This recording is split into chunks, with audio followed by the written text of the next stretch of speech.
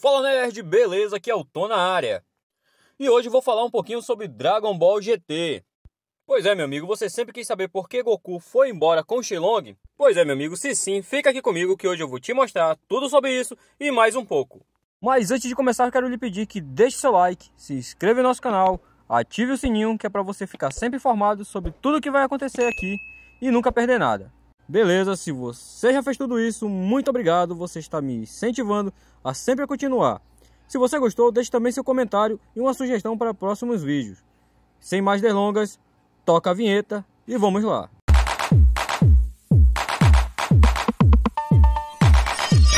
Pois é, e por que que Goku foi embora com o Shenlong na última luta? Essa é a pergunta que todo mundo se fez é, no final de Dragon Ball GT, né, depois da luta aí contra o dragão de uma estrela, onde o Goku teve que derrotar vários dragões depois das esferas do dragão ter se tornado negras, depois de ter absorvido muita energia negativa. Goku consegue derrotar o dragão de uma estrela com a sua Big Genkidama. E depois de ter derrotado ele, tudo volta ao normal, as esferas voltam ao normal. E o Shenlong aparece sozinho, né, sem ninguém ter invocado ele. E isso foi algo surpreendente, porque quem acompanha a saga Dragon Ball Z sabe que quando Shenlong é invocado, o céu escurece, o dia vira noite, e isso não aconteceu no final de Dragon Ball GT.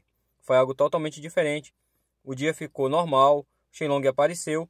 Pois é, a gente vê o Goku deitado no chão depois da luta.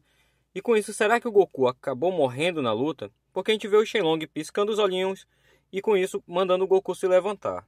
Depois disso, a gente vê que Shenlong chama Goku para ir embora. Nisso, Goku pergunta de Shenlong se já está na hora de ir.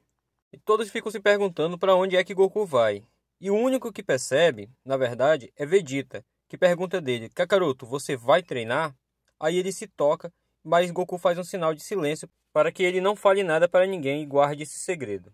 Então Vegeta sabia para onde Goku estava indo. Depois que Goku parte com Shenlong, todo mundo começa a recordar aí, ter lembranças de quando tudo começou, né? Primeiro é a Buma, que ela começa a lembrar onde ela encontrou Goku, onde sua história com Goku começou, sua jornada aí em busca das esferas do dragão, o tempo que passou e tudo que eles viveram junto. É, essas cenas aí são muito bonitas. Aí temos é, o Tenshinhan consertando sua moto e ele vê o Shenlong flutuando aí, né, voando aí sobre sua cabeça. E ele basicamente assim percebe que tem alguma coisa ligada com Goku e ele começa a recordar, né, o Goku aí quando ele conheceu o Goku e sua jornada.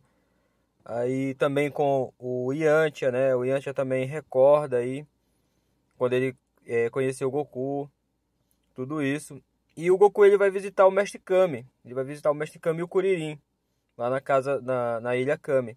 E a gente vê aqui um Kuririn já velhinho, né, de barba branca, cabelo branco, e eles têm aqui aquele momento de, de luta, né, de treino aí para recordar, relembrar o, o, o tempo passado o Kuririn começa a se lembrar de sua jornada, o que, que eles faziam quando eles eram crianças, treinamento junto com, com o Kami, né? E essa cena aqui é muito legal. E uma coisa que é engraçada é porque o Goku ele continua na cabeça do Shenlong, mas ele começa a visitar esses lugares, né? Ele visita aqui a casa do Kami. E, e uma, uma das cenas mais, mais coisadas assim é quando o Goku ele vai visitar o Piccolo no inferno. Porque a gente sabe que para entrar no inferno não é qualquer um que entra e não é qualquer um que sai. Então o Piccolo ele fica meio que assustado ver o Goku ali. Mas quando ele pega na mão do Goku, é basicamente ele, ele percebe que o Goku ele acabou se tornando algo além de humano. Ele não é mais humano, ele se tornou outra coisa. Né? E essa coisa basicamente pode ser uma divindade, um deus, e o Piccolo ele sentiu, sentiu isso. Já que ele também, como ele também já foi uma divindade, ele pôde sentir isso. E pois é, galera, Goku acabou se tornando um deus, um deus aí protetor das esferas do dragão. Depois de não haver mais nenhum mal na Terra, Goku não era mais necessário, então Shenlong decide levá-lo, tornando assim um imortal para ser o protetor das esferas do dragão para sempre. Pois é, depois que Goku parte com Shenlong, as esferas do dragão começam a penetrar no seu corpo. É, ele fica dizendo que o corpo do Shenlong é, é quentinho. E com isso ele some e a gente vê que o Goku ele vai aparecer anos depois, já na sua forma adulta, muito tempo depois, mais ou menos 100 anos depois. Ele aparece numa forma adulta por seu descendente, que é o Goku Júnior. Quando o Goku Júnior ele vai atrás de curar a avó dele, que é a Pan, que era neta do Goku, que ela tá doente. Mas aí o Goku fala para ele que somente com uma esfera do dragão ele não vai conseguir fazer o desejo, ele precisa reunir as outras seis. E depois o Goku ele aparece no torneio de artes marciais para ver o Goku Júnior lutar, né? Onde a Pan, já a vovó Pan, na, tá na plateia, torcendo pelo netinho dela, e ela olha pro lado e vê que tem uma moça muito parecida com a Buma, e quem vai enfrentar o seu netinho, o Goku Júnior, na verdade é um garotinho muito parecido com o Vegeta, que é o descendente do Vegeta. E nesse arco aí, nesse tempo, é, parece que a família do Vegeta junto com a família do Goku, eles mesmo que se separaram e só agora vieram se reencontrar, né? Só aí eles se reencontram. E o Goku tava lá na plateia assistindo essa luta. Pois é, galera, então aí já mostra que o Goku ele não é mais humano, ele voltou à sua forma normal, agora ele já é uma divindade e ele pode vir à Terra e ele se apareceu lá por seu, por seu descendente, né? Como é, é, depois que ele pegou a esfera do dragão, ele aparece. E galera, essa daqui é a minha teoria, é o meu vídeo hoje sobre Dragon Ball GT. Falando aí um pouquinho por que, que o Goku decidiu ir embora com o Shenlong. Né? Por que razão Goku foi embora com o Shenlong. E se você gostou, deixa aqui um comentário, deixa aí uma sugestão. Não esqueça de deixar seu like, se inscreva no nosso canal, ative o sininho.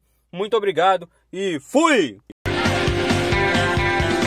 Seu sorriso é tão resplandecente que deixou meu Nós nos divertimos muito na companhia de Goku. Me dê a mão pra fugir desta terrível escuridão.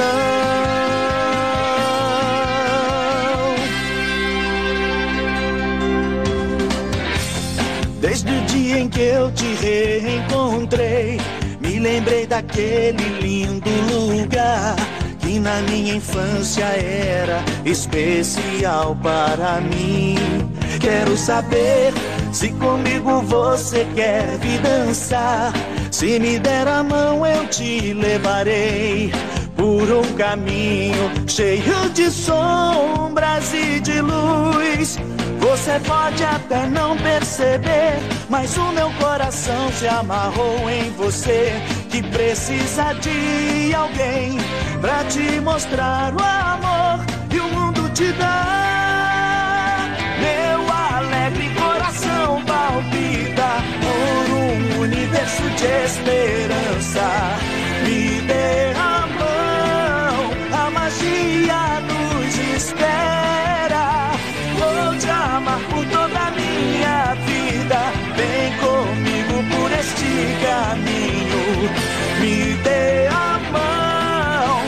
Fugir desta terrível escuridão.